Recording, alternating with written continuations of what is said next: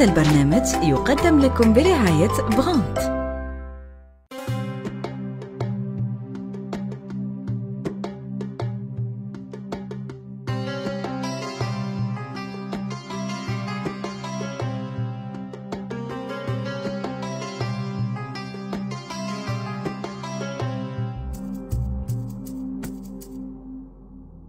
ابن خلدون من أكبر المفكرين تاع القرون الوسطى. ويعتبر كمؤسس علم السوسيولوجيا وهي علم المجتمع. انزاد عام 1332 بتونس في عائلة تقفى ذو الأصول الأندلسية وقرأ في جامعة الزيتونة. كي قفل 17 عام في عمره انتشر مرض الطاعون في تونس وماتوا قريب كل أفراد عائلته إما راح للمغرب وين ولا يخدم عند السلاطين. وهكذا ولا يعيش في وسط الملوك وعرف كل المخططات والخدايع الملكية اللي صراو في شمال إفريقيا. وين خدم بزاف كدبلوماسي ما بين فاس في المغرب وغرناطة وبجاية. في 1375 كره ابن خلدون من السياسة. وجبد روحه في الجزائر باش يخمم ويكتب. سكن في قلعة بني سلامة في جويه معسكر في بلاصة مازالها معروفة حتى اليوم باسم غار ابن خلدون. التم بدا يكتب أكبر أفكاره في كتابه المشهور اسمه المقدمة.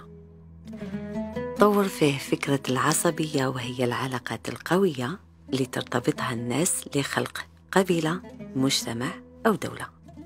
في هذا الكتاب قال ابن خلدون باللي المجتمعات البشرية تسير حسب قوانين محددة وهي متأثرة بزاف بالبيئة اللي عايشين فيها على بها فرق بين سكان المدينة والبدو.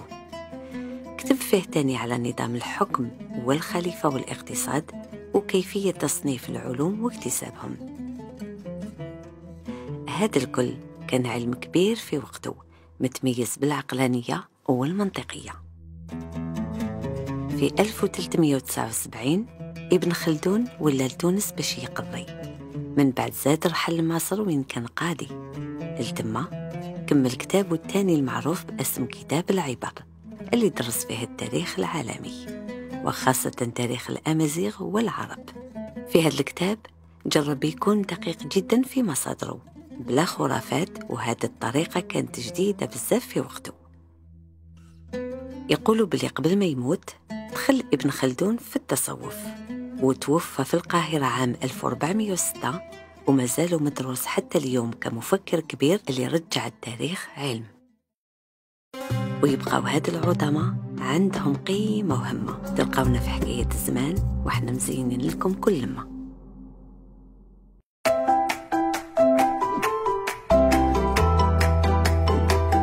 هذا البرنامج قدم لكم برعاية برونت